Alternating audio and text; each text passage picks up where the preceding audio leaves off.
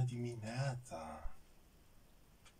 Să discutăm un pic acum, în această zi frumoasă, despre relații și noul coronavirus. E, știți că aveam o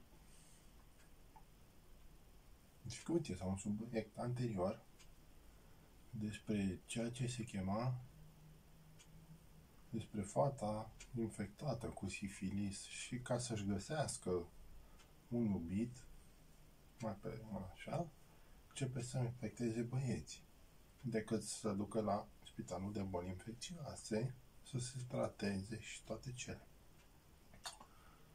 E, cu nou coronavirus e cam la fel. Practic, te ia pe stradă, bună, ești uh, disponibil? Pentru o relație de lungă durată? Și la care spune, da, sunt uh, disponibil pentru o relație de lungă durată.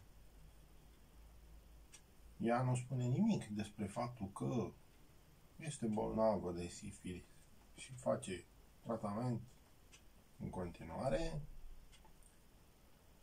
sau este pozitivă de SIDA sau are noul coronavirus.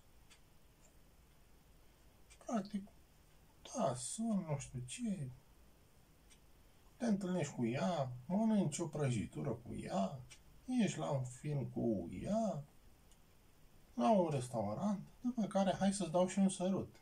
Direct pe gură. Uite, pe gură, sărutul, și apoi, după ce dă sărutul, dragule, te iubesc așa de mult, încât te-am infectat cu un nou coronavirus. Acum vei fi la fel ca mine. Și rămâi mască.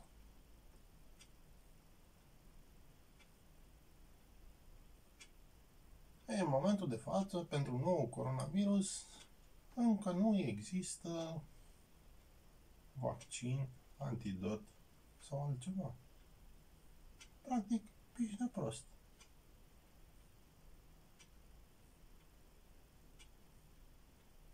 Rămâi perplex?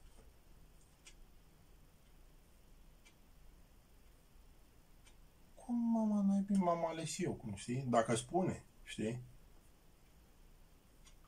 Dragul, te-am infectat ca să fii la mine, la sub braț. Că îmi place foarte mult, și avem un viitor împreună. Sau când te duci odată și îți faci testul, te ia cu ceva de genul cum mama dracu m-am infectat. Că m-am protejat, am pus mască pe colo, pe colo, pe dincolo, pe așa.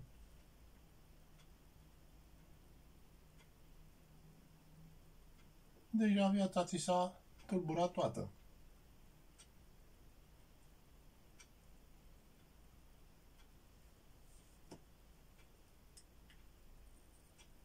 vă luați să discutați și să vă treziți.